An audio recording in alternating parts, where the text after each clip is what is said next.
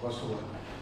Uh, Dr. Yusuf will, also be covering commercial economic affairs, uh, stationed in Istanbul. We see your unique position vis-a-vis European Union as a big incentive for the Pakistani investors and business persons to come here. Uh, but there are some questions that we raised yesterday.